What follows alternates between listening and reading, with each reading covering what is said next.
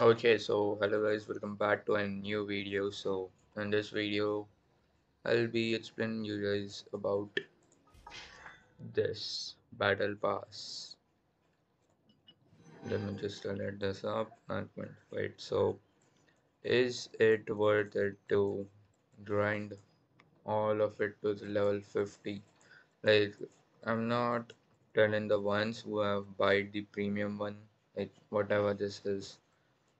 I don't know surely. So for them it is worth it. But for the f2ps who like daily grind up to that level so is it worth it to spend your time on this shit right here? Like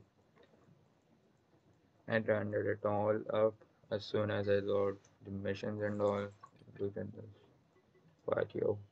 Alright so is it worth it? So i say no it's not worth it alright it's not worth the time it's not worth the effort you put in it like you have to spend more like one hour at least if you're doing it really quickly. So I'll say if you are a player who gets like the hour or two for playing, so you need to complete your commissions and all those other stuff right there. So you should just avoid this. But if you can do this, you can for it could be like a bonus rewards or something for you.